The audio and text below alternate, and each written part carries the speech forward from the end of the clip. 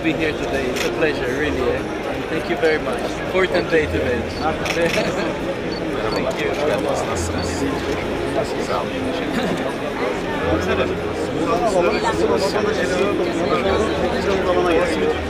Congratulations. Thank you.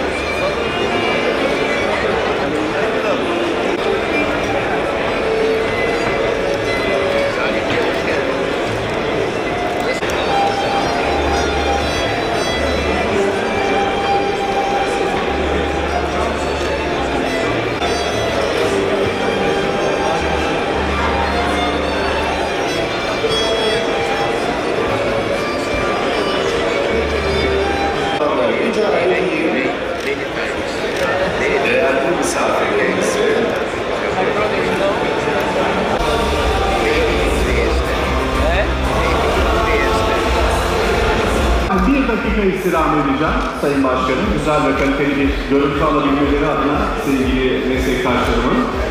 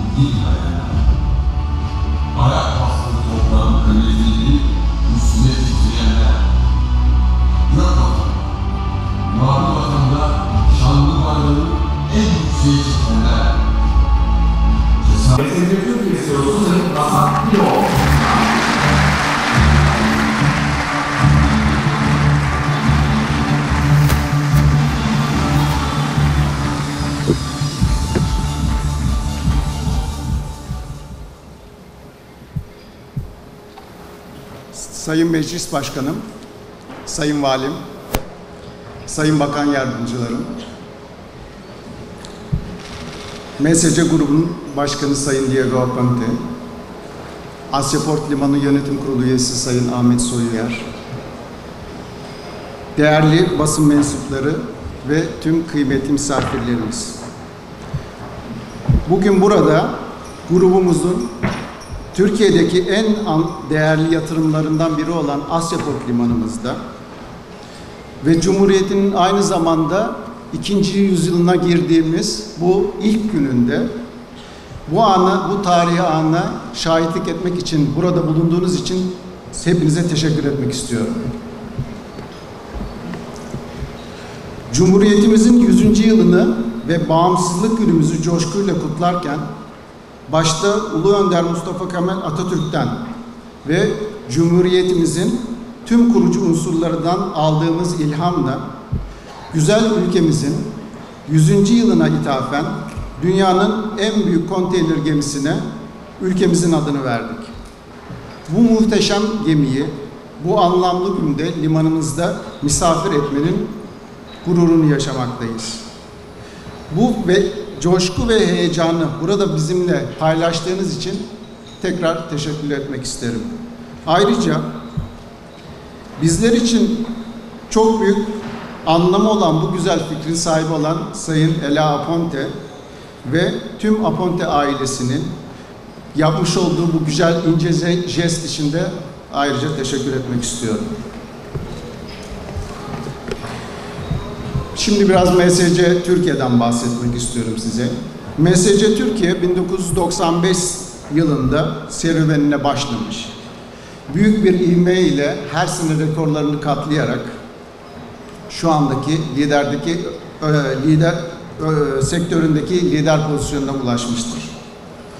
Grup olarak gü- gücümüzü ülkemizin gücünden, potansiyelinden ve insanlarına duyduğumuz inançtan aldık.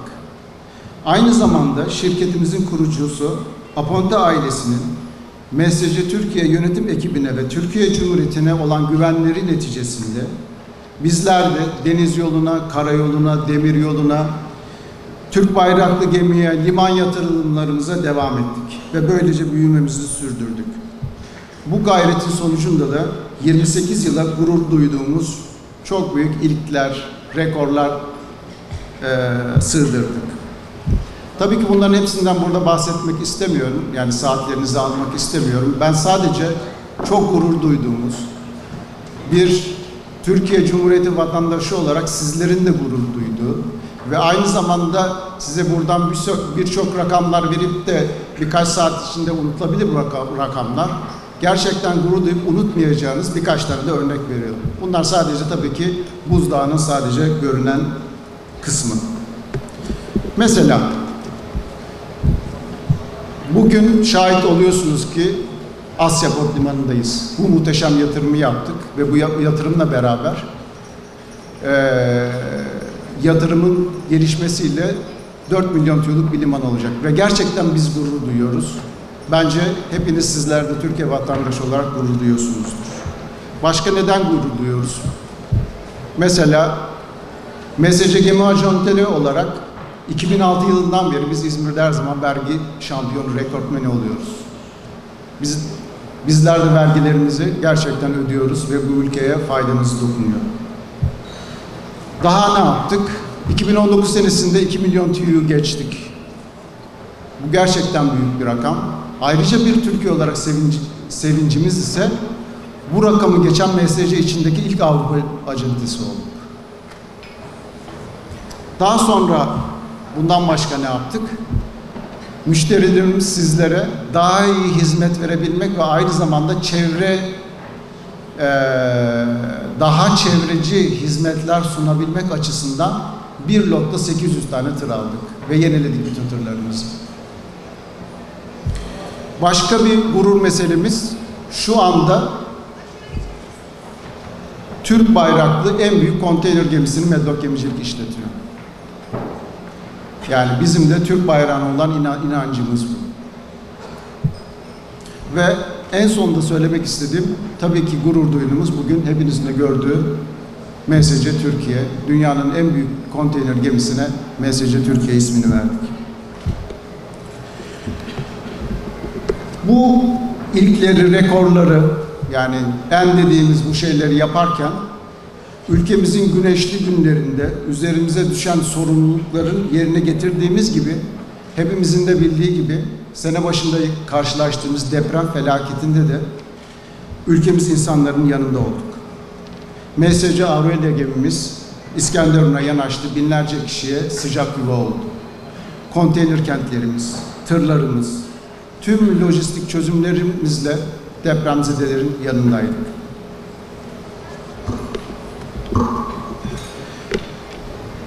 Bizler küçük bir takım olarak başladık bu işe.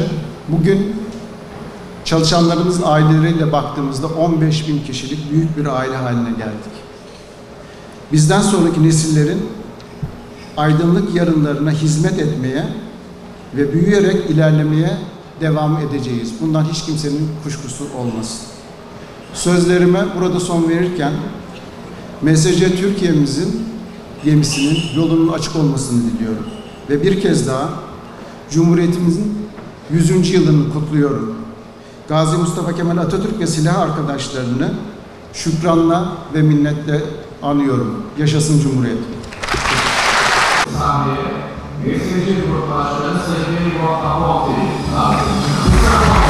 Muhakkak'ı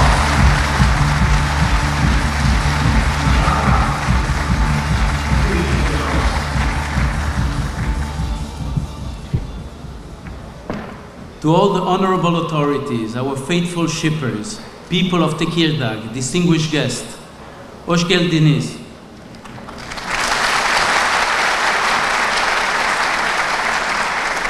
Thank you for honoring us with your presence today. This means a lot to me and my family. Welcome to Asia Port for the maiden call ceremony of MSC Turkey, named in the honor of the 100th anniversary of the Republic of Turkey. MSC Turkey is the largest and most efficient eco-friendly ship ever built. As some of you know, Turkey is my second home, and therefore the ceremony taking place in Tekirdağ makes me very happy and proud. I wish to thank all our faithful clients for having supported MSC throughout the years, contributing to the success of our group and allowing us to proudly take the leading position in this industry. Thank you. MSC, through its fleet of 800 ships covering the world in 155 countries, its 105 container terminals through TIL, its worldwide coverage of logistics services through Medlog, and the massive new building program, program coming in will allow to bring the world to the doors of Turkish customer on the most fuel efficient network. I wish to thank our great team of MSC Turkey under the leadership of Hassan Pirolu for making MSC the market leader with a market share of 30%, which reflects the dedication and professionalism of our great staff, which gives us a lot of pride. As a family, we believe that the, at the core of our company, there are our people, which make part of our family. This is the main value that drives our mission forward, which contributed to the success story. As many of you know, we have been truly committed to Turkey for the past 25 years with our 5,000 employees and our many investments in ports and logistics and our MSC cruises regularly calling at Turkish ports. We believe in the great potential of this country today and for the future. To conclude, I wish to thank my father-in-law, Mr. Ahmed Soyer, and Emre Soyer for their vision, hard work, and perseverance for making Asia Port the largest transshipment hub in Turkey, which helped develop a new economy for the region and most importantly, creating thousands of jobs. Wishing MSC Turkey and Captain Skorinov and his crew to always sail full and in calm waters. Yaşasın Türkiye, teşekkürler ederim.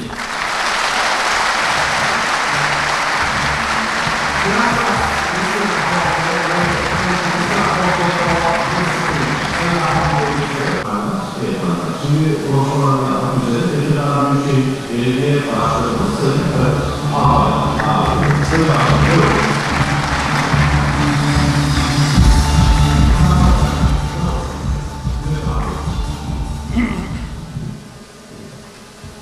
Sayın Meclis Başkanım, Sayın Valim, değerli bakan yardımcılarımız, Soyer ailesinin değerli mensupları, Diego Apante ailesinin değerli mensupları,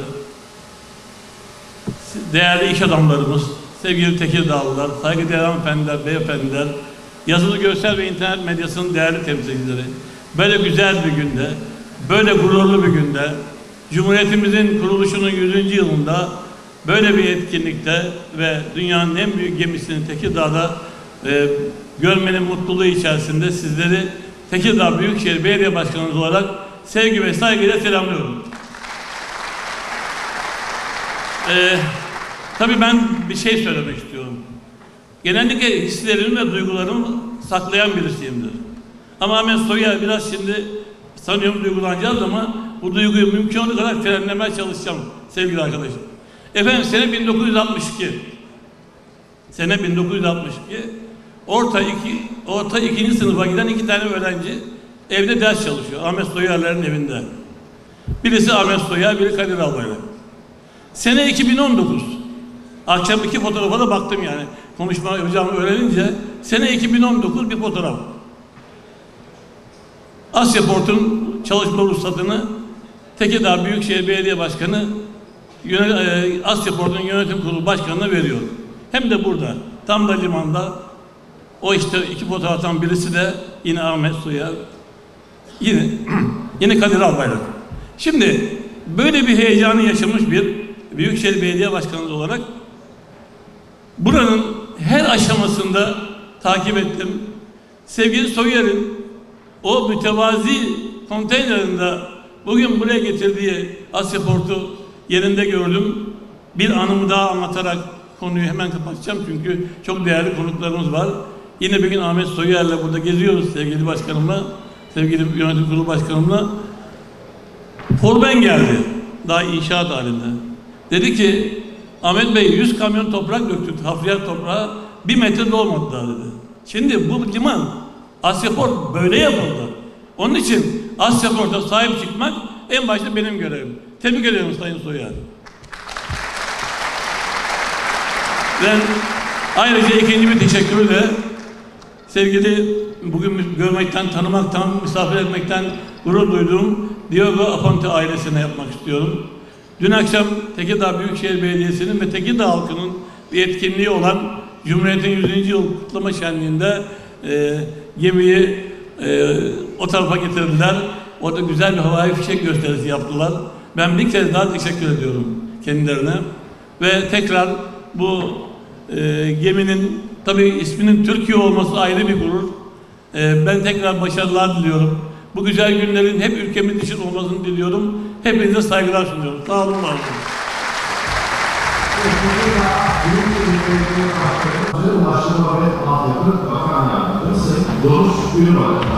Sayın Bakan.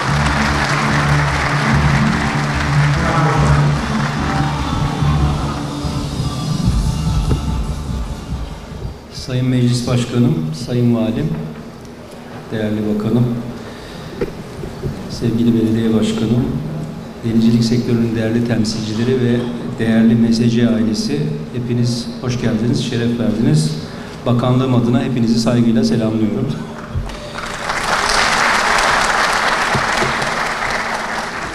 Türkiye Cumhuriyeti Devleti kuruluşundan bu yana geçen 100 yıllık süreçte karşısına çıkan her zorluğun üstesinden gelmiş, muasır medeniyetler seviyesini aşma hedefi doğrultusunda bugün dünyanın gelişmiş ülkeler arasında yerini almayı başardı.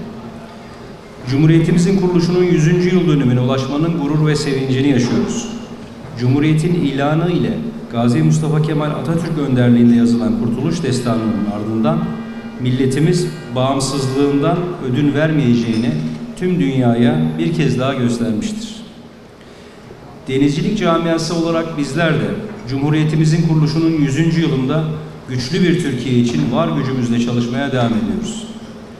Bu duygu ve düşüncelerle her türlü zorluğa ve yokluğa rağmen özgürlüğü uğruna ölümü göze alarak tarihte görülmemiş bir zaferle milletimizi istiklaline ve Cumhuriyetimizin 100. yılına kavuşturan Cumhuriyetimizin kurucusu Gazi Mustafa Kemal Atatürk ve kahraman silah arkadaşlarını minnetle yad ediyorum. Ruhları şad olsun.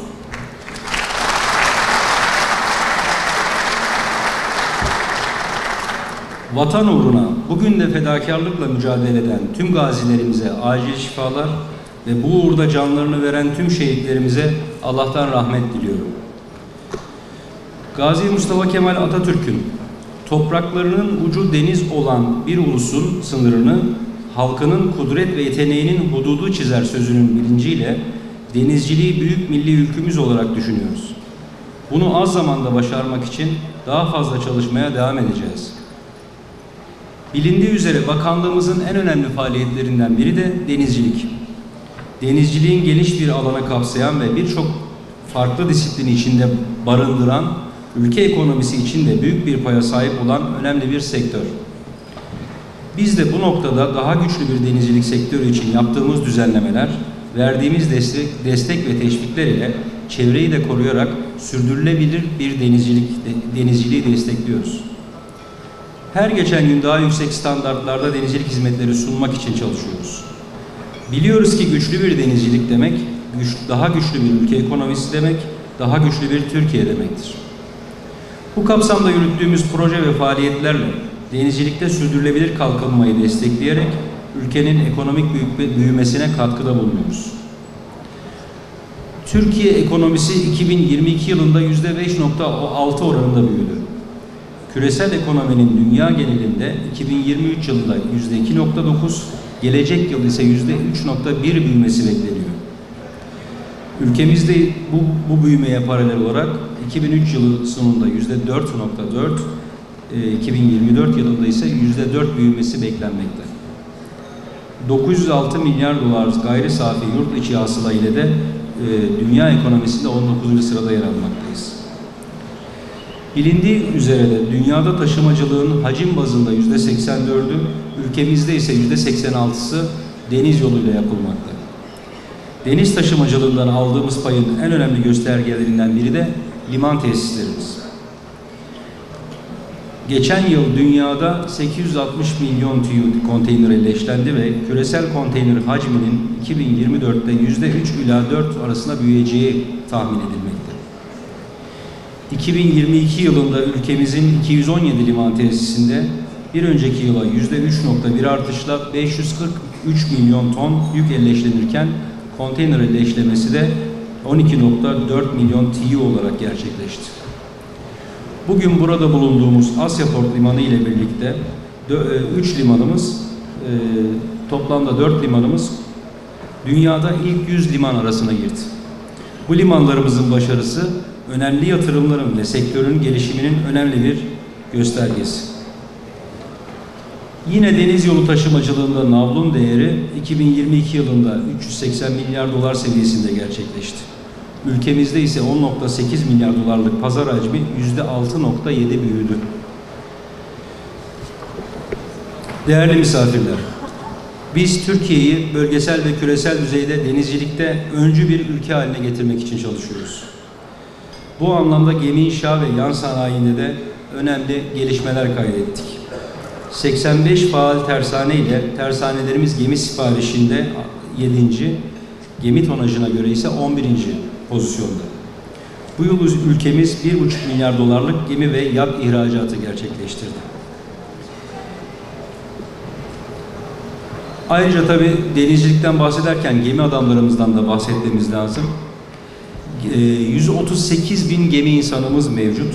1 milyonun aşkın da amatör denizcimiz mevcut.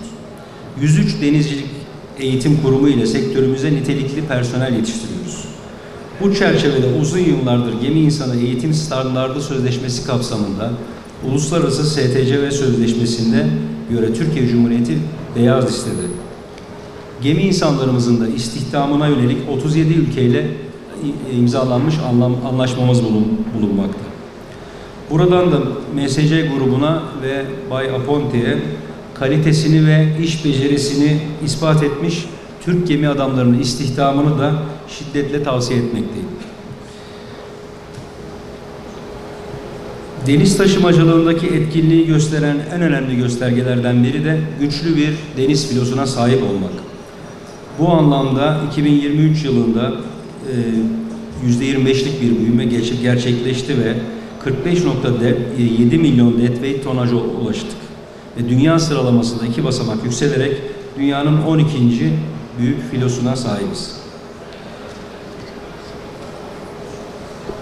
Bugün burada olmamıza vesile olan MSC, Türkiye'deki ana transit limanı Asyaport'la Türkiye'nin hizmet ihracatına destek verirken Türk bayraklı gemilere sahip Medlock Gemicilik şirketiyle de Asya Port'u Türkiye'nin e, ve Avrupa'nın e, Karadeniz'in farklı limanlarına deniz yoluyla bağlamakta.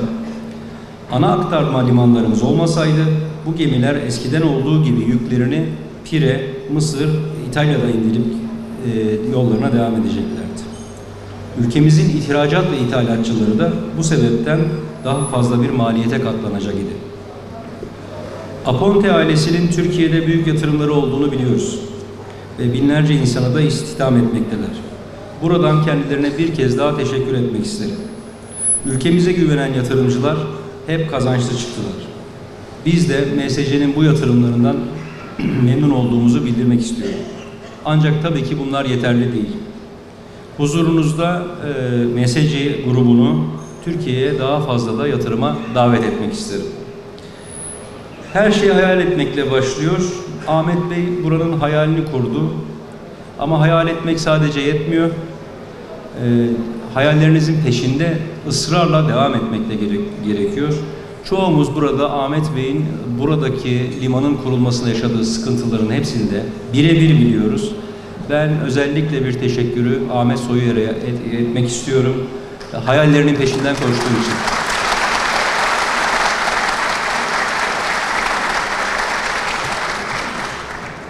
Bu anlamda e, bugünlerde gündemde olan Basra'dan başlayarak ülkemiz üzerinden geçecek Kalkınma Yolu projesinin deniz limanı, kuru liman, demiryolu işletmeciliği konularında da yatırımın yatırım yapacaklara bir fırsat olarak gördüğümü belirtmek isterim.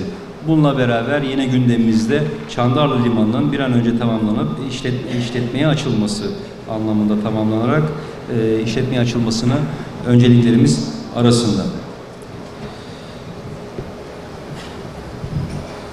Gemiyle ilgili özellikleri e, benden önce de verecek, verdiler, benden de sonra verecekler. Evet, dünyanın en büyük gemisi 100. yıla ithafen ismin verilmesinde gerek Ela Hanım, gerek Bayağı Pante'ye tekrar teşekkür ediyoruz. Ama bu bünyede Türk bayraklı gemiler olduğunu biliyoruz. Daha fazla Türk bayraklı gemi ve inşallah bu evatta da bir Türk bayraklı gemi görmek istiyoruz. Huzurunuzda dile getirmek isterim.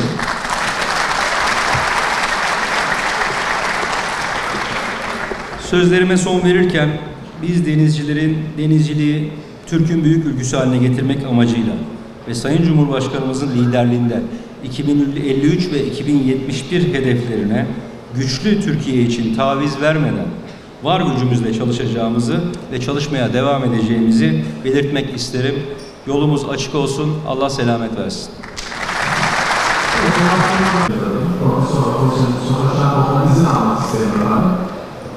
İki veya üç mesajımız var. Sizin müsaadenizi okumak isterim. İlk mesajımız bu programı teşvik edilen değerli vekilimizden Doktor İlhan Hoca Aydın'da e, Başkent Ankara'da Türkiye Büyük Meclisi olağanüstü toplanma kararı aldığından katılıyorum. Teşekkür ediyorum. Törenin başarılı geçmesini diliyorum. Yok, elinde. İkinci mesajımızı hanımefendiler, beyefendiler sizlerle paylaşmak isterim. Cumhuriyetimizin 100. yıl dönümü dünyanın en büyük konteyner gemilerinden birine mesajı Türkiye isimli annelerinden dolayı Apollo'ya soruyorlar ailelerine teşekkür ediyorum. Asya Korkulan'ın ilk kuruluş günlerinden ve tamamlanması için şehrin o günkü valisiyle davet etmişimizi olarak Asya Korkulan'daki ilk uğrak törenine katılmayacağını üzülerek bildirmek istiyorum. Binlerce personel istihdamı, milyarlarca dolarlık yatırımları ve ihracatçılarımızla, ithalatçılarımıza sağladıkları kolaylıklar nedeniyle mesajı gruba Apote ve Soylar ailelerine en kalbi teşekkürlerimi iletirken aynı zamanda Türkiye Cumhuriyeti'nin ikinci aslı olan Türkiye yüzyılında çok daha büyük ve kapsamlı yatırımların beklentisi için olduğunda bileniyorum bu ülkenin yatırımda üretimde hizmet edenlere selam olsunların iç içe bakanı Sayın Ali Erdoğan. Sayın Bakanımıza teşekkür ediyorum. Efendim son mesaj. Mesajı grubunun Türkiye Cumhuriyeti'nin 100. yılı olduğunu isimlendirdiği Mesajı Türkiye gemisinin ilk gelişini kutlanacağı uğrak törenine davetiniz için teşekkür ediyorum. Törenin Kalkınma Bakanlığı'nın görevini ziyaret ettiğim bir de Asya toplumlarında gerçekleşmesi ayrıca anlamlıdır. Ziyaretin ana defterine yansınan 2023 yılında durmak yok. Yola devam şiarımız özel sektöründe, kamu sektöründe omuz omuza hayata geçirdiği ilk seferini gerçekleştiren Mesajı Türkiye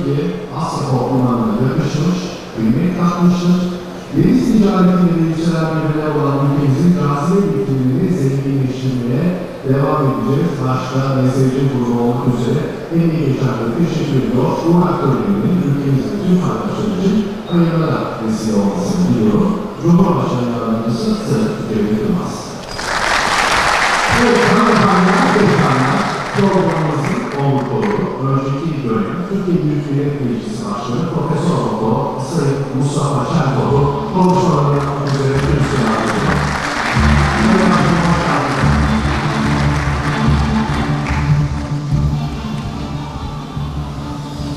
Sayın Valim, değerli misafirler, böyle bir bahardan kalma güzel bir günde milletimiz için çok önemli, kıymetli tarihi günlerin yaşandığı bir günde e, çok güzel bir vesileyle bir araya geldik.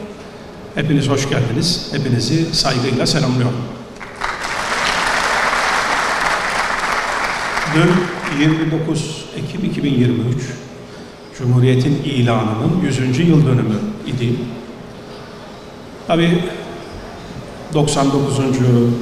101. yıl e, gibi 100. yılda aslında sembolik olarak bir anlam ifade ediyor. E, 100. yıllar genellikle bütün tarihi dönemler bakımından e, bir geriye dönüp bakmak, tekrar değerlendirmek ve o zamanki hedeflerimizi yeniden dikkate alarak bugün nerede bulunduğumuzu e, millet olarak gözden geçirme imkanı sunan tarihler. Ben e, gerek milli mücadelede gerekse Cumhuriyet'in kuruluşunda öncülük eden, Türkiye'ye, milletimize liderlik eden Gazi Mustafa Kemal Atatürk başta olmak üzere onun bütün silah ve yol arkadaşlarından, bütün şehitlerimizi ve ahirete irtihal eden gazilerimizi minnetle ve rahmetle anıyorum. Çok zor dönemlerden geçmişti Türkiye 100 yıl önce.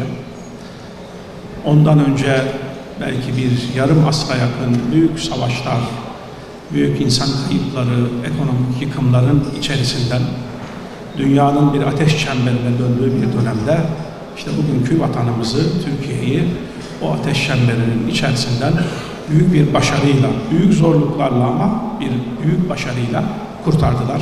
Hepsine minnettarız. Tabii o zaman da Cumhuriyet'in kurulduğu yıllardaki hayaller, düşünceler, hedefler üzerinden baktığımızda bugün Türkiye'nin çok iyi bir noktada olduğunu düşünüyorum. 1923'te değil ama 1928'de sanıyorum birkaç gün önce yıl dönümüydü. Türkiye ilk nüfus sayımını yapmıştı. O zaman Türkiye'nin nüfusu 13 milyondu. Muhtemelen 1920-23 civarında Türkiye'nin nüfusu 10 milyonun altındaydı.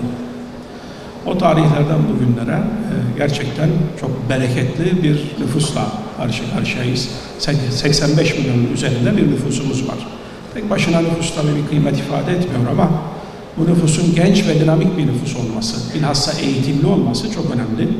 Bu yönde de Türkiye'nin avantajlı olduğunu, bilhassa Avrupa ülkelerine baktığımızda nüfusun nispeten genç olması hasebiyle avantajlı olduğunu ifade etmek isterim. İşte bütün hedefimiz birçok hedefin yanında ama temel hedefimiz bu genç nüfusu iyi bir şekilde eğitmek, Türkiye'ye, insanlığa faydalı hizmet eder, bir takım e, yeteneklerle, özelliklerle, niteliklerle donanımlı, donanımlı hale getirmek çok önemli. Yapılacak olan en önemli işlerin başında bu gelmektedir. Değerli arkadaşlar, güzel bir vesileyle e, bir aradayız demiştim. E, öncelikle MSC e, Türkiye ismiyle beraber ilk e, olarak Türkiye'ye gelmesi, dünyanın en büyük konteyner gemisinin Tekirdağ'ımıza gelmesi çok önemli, çok kıymetli. Başta böyle bir jesti e, Tekirdağ, Türkiye için yapan e, Aponte ailesine teşekkür ediyorum. Bunun, bu fikrin e, kaynağı olan Ela Hanım'a ayrıca burada e, teşekkür ediyorum. Tabii Ahmet abi, Ahmet Soyer e, Tekirdağ'da e, bizim e, ailemizin de, babamın, dedemin e, dostu olan bir ailenin ferdi. E, arazi komşuluğumuz var. Çok eski tarihlerden itibaren, bizim çocukluğumuzdan itibaren. Tekirdağ için ve burası için ne kadar büyük bir gayretle ve aşkla çalıştığını biliyorum. Ee, Tekirdağ ve Tekirdağ tarihine, Tekirdağ'ın geleceğine hizmet etmek onun en büyük tutkusu. Ve bu tutkuyla işte böyle Tekirdağ büyük e, imkanlar, ekonomik manada imkanlar sunan, sunacak olan e, Asya koltuğuna e, gelişmesine, bugünlere gelmesine e, gayret gösterdi. Biz de her zaman elimizden gelen e, yardımı, desteği verdik. Çünkü hepimiz Türkiye için çalışıyoruz. Ama e, bu tabii bir üst ideal. Türkiye için çalışmak demek aslında Tekirdağ için çalışmak demektir. Herkes kendi şehri için çalıştığı zaman Türkiye için çalışmış oluyor. E, ve Tekirdağ için de çalışmak, kendi ilimiz, şehrimiz için çalışmak, işimizi en iyi şekilde yapmakla, onu geliştirmekle, büyütmekle mümkündür. Dolayısıyla e, yapılan bütün çalışmalar Tekirdağ ve Türkiye'ye büyük hizmettir. Ben bu bakımdan e, Sayın Ahmet Soyer'e de huzurlarınızda teşekkür ediyorum. E, değerli arkadaşlar, e, inşallah biz e, MSC'den e, başta Tekirdağ olmak üzere Türkiye'ye yatırımların devam etmesini e, temenni ediyoruz, istiyoruz, talep ediyoruz. Türkiye yavaş yavaş ciddi ölçüde karışık hale gelen, gelmeye başlayan bir dünyada, büyük riskler barındıran bir dünyada Türkiye e, önemli bir huzur e, ve sükunet adası mahiyetindedir. E, bu tabii Türkiye'nin hem tarihi konumu hem jeostratejik konumuyla ilgili bir durum. Ama tabii Sayın Cumhurbaşkanımızın liderliğinde e, Türkiye'yi bütün bu e, büyük afetlerden, rüzgarlardan mümkün olduğu kadar selamette tutma gayreti çok önemlidir. E, dünyada muhtemelen bugüne kadar olan birçok bilhassa ekonomiyle, ulaştırmayla ilgili birçok planlama, projeye yenileri eklenmek zorunda. Dünyanın birçok noktasında e, ortaya çıkan riskler, krizler, e, ulaştırma alanları dahil olmak, koridorları dahil olmak üzere birçok projenin yeniden gözden geçirilmesi noktasına getirdi herkesi. Malumunuz biliyorsunuz e, biraz e, deniz yollarına alternatif ama sonuçta nihayetinde denizlerle bağlantılı bir proje olan e, bu kuşak ve yol projesine hazırlıklarını sürdürüyor. Nihayetinde Büyük Asya'dan birçok ülkenin içinde olduğu Asya'dan gelen ulaşım koridorlarının üç alternatifi vardı. Bunlardan birisi Kuzey Koridor'du. Rusya üzerinden Avrupa'ya bağlanan koridor. Son yaşanan Rusya-Ukrayna savaşıyla e, bunun ciddi bir risk taşıdığı ortaya çıkıyor. Güney Koridor ise e, İran, belki Irak üzerinden Doğu Akdeniz'e bağlanan koridor. Bunun da e, riskleri bölgenin bugün için değil ama geçmişten beri içinde bulunduğu e, kriz durumları dikkate alınında e, çok muhtemel gözüküyor. Dolayısıyla baktığımızda bu Büyük Asya'yı Avrupa'ya bağlayan e, ulaşım koridoru esasen orta koridor dediğimiz Türkiye'nin üzerinden geçen koridor. Bu karayoluyla, demir yoluyla ve bunlarla bağlantılı tabii limanlar ve deniz yollarıyla ortaya çıkacak bir koridor. Sadece bundan da ibaret değil. Tabii bütün bu ulaştırma anında, bütün ekonominin de kaynağı olan e, enerji hatları da yine Türkiye ile bağlantılı ve Türkiye etrafında şekillenmekte. Bu bakımdan e, Türkiye'nin e, gelecekte bugüne göre çok daha fazla e, sadece jeostratejik değil, aynı zamanda e, ekostratejik bir noktada da e, bulunduğunu ve bu öneminin de gittikçe arttığını ifade etmek isterim. Bu bakımdan Türkiye'ye güvenen dostlarımız hiçbir zaman pişman olmamıştır, olmayacaktır. Dostlarımızla beraber Türkiye büyüyecek ve kazanacaktır. Ben e, böyle bir günde sizlerle bir arada olmaktan duyduğum memnuniyeti ve heyecanı tekrar ifade etmek isterim. E, mesajı Türkiye hayırlı olsun, e, yolu açık olsun. E, hepinize teşekkür ediyorum. Böyle bir güzel günde beraberiz. Sağ olun.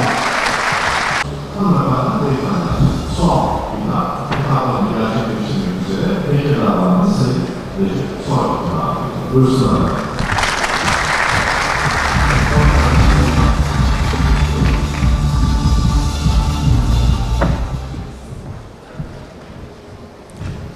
Sayın Meclis Başkanım, Sayın Bakanlarım, Aponte ailesi, Soyer ailesi, değerli başsavcılarım, değerli eski milletvekilim, değerli belediye başkanlarım, siyasi partilerimizin değerli temsilcileri, saygıdeğer katılımcılar, saygıdeğer hanımefendiler, beyefendiler. Tekirdağ ilimiz bir turizm şehridir. Tekirdağ ilimiz bir tarım şehridir. Türkiye'deki ayçiçek üretiminin en büyük bir kısmı en fazla üreten şehri Tekirdağ'dır. Yine Türkiye'de Konya ve Ankara'dan sonra en çok buğday Tekirdağ'da yetişir. Kendine özgü zeytin, üzüm ve kiraz çeşitleriyle ekonomiye katkı sağlar. Ama Tekirdağ aynı zamanda bir sanayi şehridir. Toplam 14 OSB'de yaklaşık 3200 yatırımcı bu ülke için üretiyor. Ürettiklerini hem Türkiye'de hem de dünyaya satıyor. Bunu satabilmek için ulaşım lazım. Karayolları bakımından oldukça uygun bir konumdadır. Demir yolumuz var ama çok önemli bir ulaşım kaynağımız var. Deniz yolu. Hem Karadeniz'e kıyımız var hem de Marmara Denizi'ne. Toplam üç limanımızla ihracata katkı sağlıyoruz. Çok ciddi bir potansiyelimiz var. Çalışmışız, belli bir noktaya gelmişiz ama çalışacağımız çok daha alan var. Bu bu seviyeye gelmesinde emeği geçen herkese şükranlarımı arz ediyorum. Bu potansiyeli içeren bu büyük ilde dün Cumhuriyetimizin 100. yıl dönümünü hep birlikte gencisiyle, genciyle, yaşlısıyla, kadınıyla, erkeğiyle büyük bir coşkuyla kutladık. 20 bin kişilik bir kortejle yürüyüş yaptık. Cumhuriyet Bayramı törenleri tarihindeki en kalabalıkla, en coşkuyla kutladık. Ama muhtemelen Tekirdağ ilinin en önemli kutlama alanı burasıdır. Çünkü dünyanın en büyük konteyner kenti bugün şehrimizde. Ve ismi MSC Türkiye. Ben de Ela Hanım'a özel bir teşekkür ve Sayın Aponte'ye özel bir teşekkürde bulunmak isterim. Çünkü dünyanın en büyük konteyner gemisine Türkiye ismi verdiğiniz için ve bunu yaparken de Cumhuriyet'in 100. yıl dönümü olduğu için verdiğiniz için özel bir teşekkür ediyorum.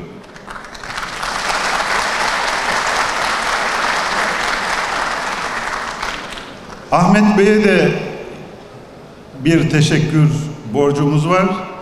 Yaklaşık iki aydır buradayım. Bu tören için ne kadar heyecanlı olduğunu, ne kadar ayrıntıcılığı bir adam olduğunu, mükemmelliyetçi bir adam olduğunu gördüm. Çok sık bir araya geldik ama bugün de gördüğünüz üzere çok mükemmel bir tören oldu. Ona da teşekkür ederim.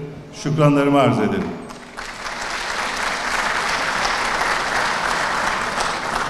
Ben bu duygu ve düşünceyle Cumhuriyetimizin 100. yıl dönümünü bir kez daha kutluyor.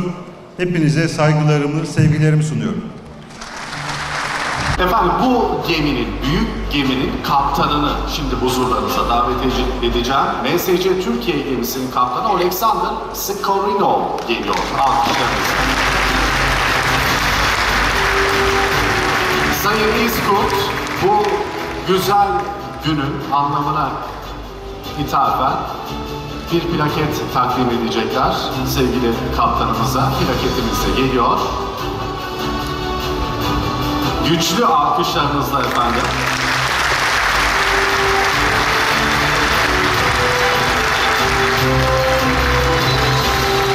Çok teşekkür ediyoruz.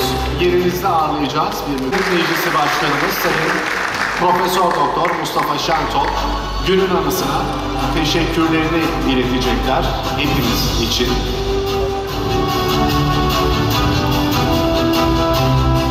Sayın Diego Aponte ve Sayın Ela Soyer Aponte bu plaketi alkışlarınızla alıyorlar.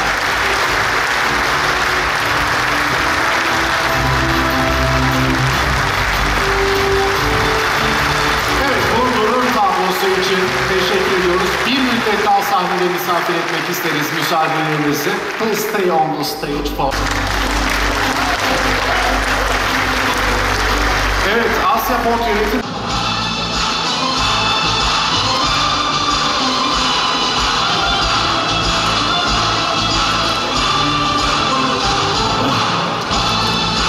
Hayırlı olsun.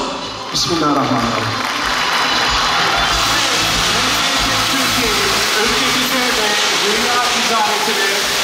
Hayırlı olmasını diliyoruz. Türkiye Cumhuriyeti'nin 100. yılını ve aynı zamanda genimizi Türkiye adına vermiş olmamızı sizlerle birlikte kutluyoruz.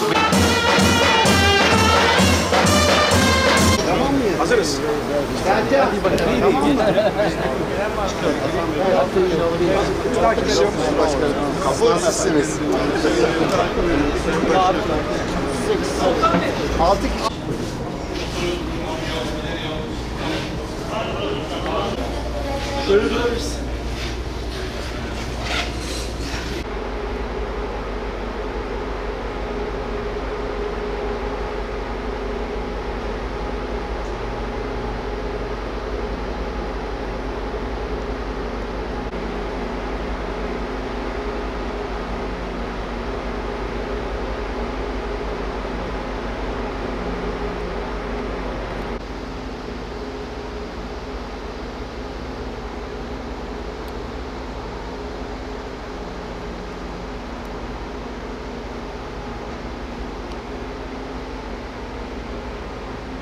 Bizi daha büyük hedeflere taşımak için hep birlikte yola devam ediyoruz. Katılımlarınız, teşrifleriniz için bir kez daha teşekkür ediyoruz.